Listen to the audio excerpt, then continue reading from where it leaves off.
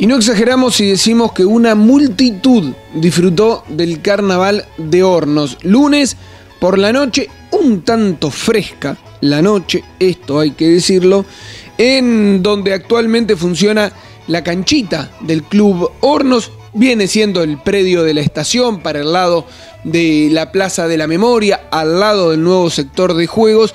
Allí se montó el escenario y el lugar que se dispuso para el público que realmente por momentos pareció quedar chico, más allá de que era muy amplio, por supuesto, pero la totalidad de las mesas y sillas que se pusieron se ocuparon rápidamente antes de que comenzaran los espectáculos. Los organizadores hablan de entre 3.500 y 5.000 personas. No sabemos cuánta gente hubo, lo cierto es que fue un montón y que, bueno, eh, en más de una oportunidad me parece que sobrepasó las expectativas hasta de los más optimistas. La cuartetera abrió el escenario y abrió la noche de carnaval en Hornos.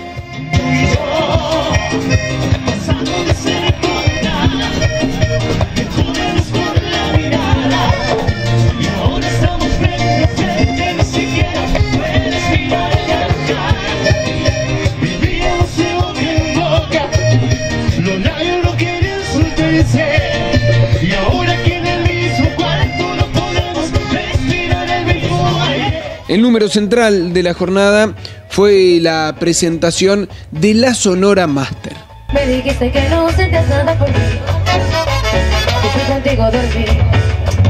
Que no olvides mejor. Que no te busque, que no te llame. Que otra persona tiene la llave para entrar en tu vida.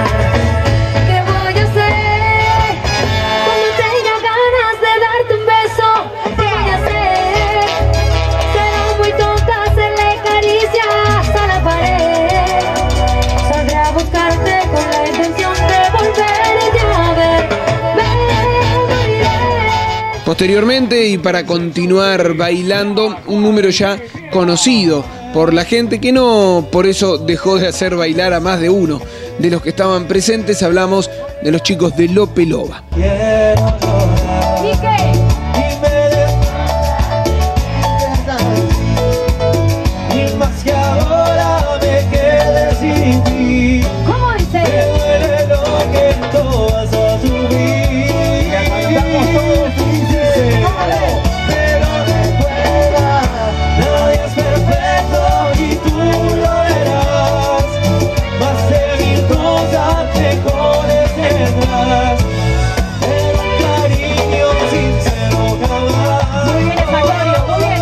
Y el cierre estuvo, estuvo a cargo de otro crédito local, Raúl El Ternero Arias, como siempre, un experto en esto de hacer bailar y disfrutar a la gente. Se mueve, se mueve, se mueve, y me mata, me mata a bailar.